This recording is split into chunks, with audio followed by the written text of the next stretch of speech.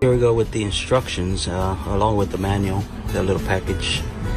Obviously, it's the manual. Yes, charts and stuff as the, you know more information.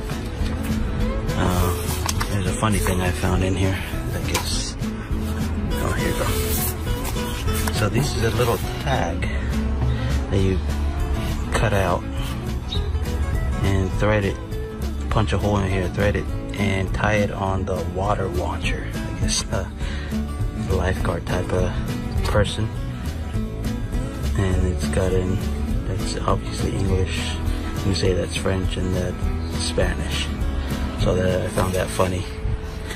Uh, but I guess they have to cover their butts, you know. Here's another warning tag. I guess you've gotta put this somewhere on the pool. I'm, I'm gonna assume, or on the frame. Probably on the pool, or somewhere near the pool. Couple of patches they put in there. I hope I don't have to use them. More paperwork. Uh, manual for the pump and manual for the ladder. So, uh, yeah, again, I'm gonna cut it off for a second and get more of this stuff out. All right, guys, I just put the tarp down and uh, this thing is huge. Took uh, most of my uh, patio here. Back up a little, and you can see there. I don't think the pool itself is that big, but I think uh, the tarp was just an overshot.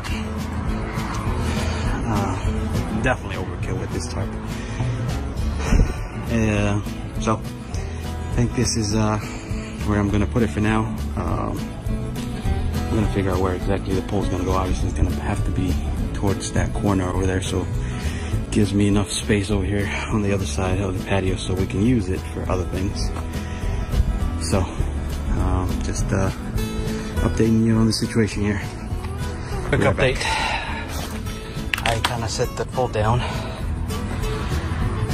Just some advice. Uh, make sure you know where your connections are going to be because especially if you're doing this by yourself. As, as, as you can see, I want everything as far as the pump and all the hoses on this side. And when I first laid it down, they were on that side, and I guess there's no way of knowing when the thing is folded. Again, make sure you know where your fittings are, because if you set it down once, then to move it, especially if you're doing it alone, I wouldn't recommend it. Uh, but I'm not gonna give up. It's all for the kids, you know. So, you kind of have an idea on how this is gonna sit. Again, uh, I don't know if uh, it's bigger than I expected, but we'll find out once I have the, the legs down. Um, the legs are over there on the side. Uh, oh, and another thing, just make sure if it's breezy or windy, put some uh, stone brick or something on the on the tarp because you know starts flapping around and you get kinks and stuff like that. And again, especially if you're doing this on your own, and if it's 10,000 degrees outside, like it is right now, not a good idea. So let me continue on, and I'll be back. All right, guys, quick update. After a lot of thought, I have decided to move the pool or what where I'm gonna set it up down to the grass. One because I don't want to lose all the patio space up here for you know other things, and two, I feel that the grass would be a lot better for the for the pool itself since it's not concrete. Um, I'm afraid concrete will damage it even though there's a liner underneath, but you know, better be safe than sorry. So again, this is gonna take me a while, and uh, again, this I'm doing all this on my own, but I'm gonna move everything from here to there. All right, wish me luck. All right, guys. So the I finally moved the pool.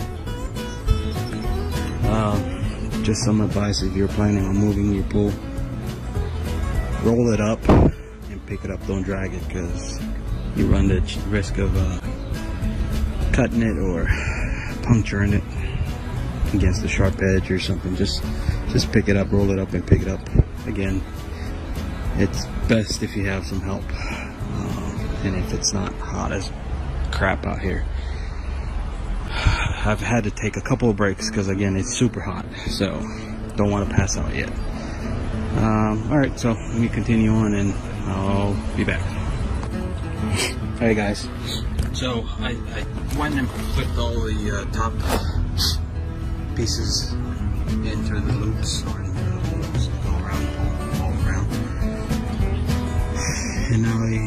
came to time to attach the uh, T connectors. So, they're supposed to go in is you got these little pins and that little plastic washer that you push through that hole on top on each side and it comes down at the bottom. So that's how you're supposed to attach it down instead of having you sit and do this on each every time you want you're going to connect the T connector just go inside or somewhere where it's cool and put the little washer in through the pin already. That way you don't have to struggle to, to do that every time. You need to put one of those. So I did all I did all of them already. So just a little trick I guess. Uh, again mostly because it's hot out here and I didn't want to sit out here dude and uh, fight my way through putting these pins in the washers. Um, again, I'm gonna go ahead and do all of it, all of those, and then I'll come back and give you guys an update. All right, guys. So another update here. Uh, I finished putting all the top beams with the T connectors, and now I put most of the vertical uh, posts. Um, they do go through that little loop there you could go through and then lock up here with the T connector. Um, just some, uh, to make it easy, don't, when you put all of these uh, pins, don't push it through at the bottom after, before you put these uh, vertical beams because while they're on the ground, it's hard to put them on or push, pushing through. So once they're raised up like that, it's a lot easier to go under here and figure out where, where the pin comes through. Uh, so I did that on all of them. So once I have all the vertical beams up, I'll go ahead and push those pins through. But uh, yeah, this is this is gonna be a huge pool. Uh,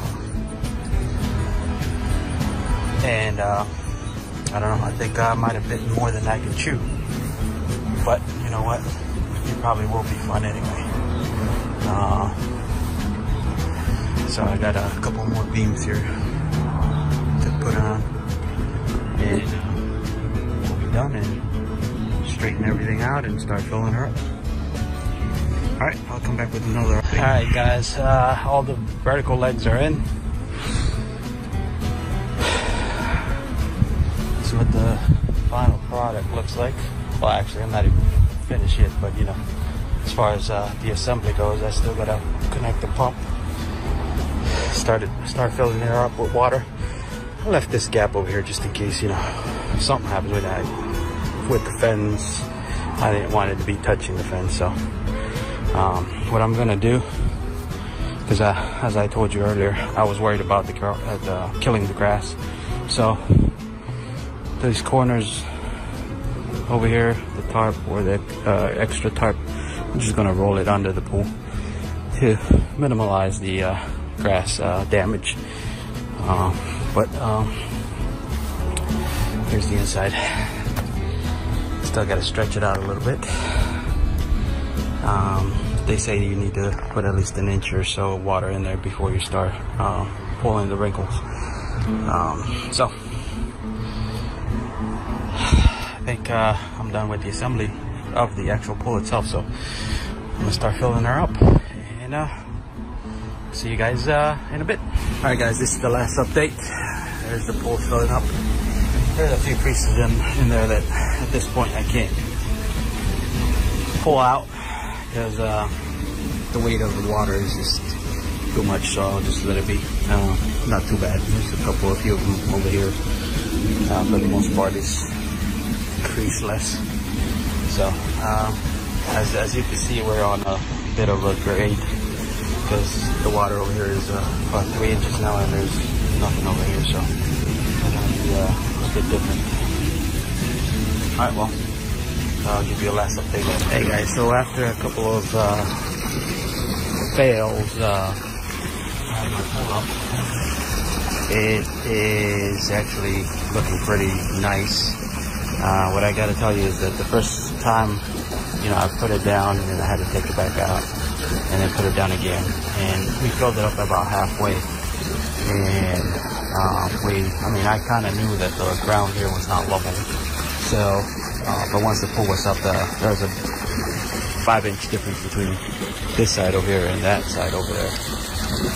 So, after uh, consulting with a few people and watching YouTube videos and stuff like that, I decided to do it the right way. And um, I hired a couple of guys to come and dig the ground up and level it using sand.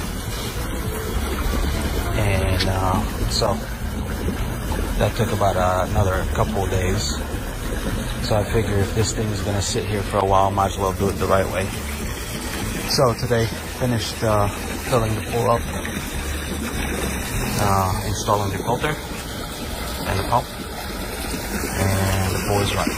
So, and I, would say it's pretty level. It's, it's about an inch, half an inch difference from this side to that side over there, which is a lot better than five inches. So, um, guys, I would advise to if you decide to do this, first of all, put it on level ground. Make sure all these uh, posts are straight. And um,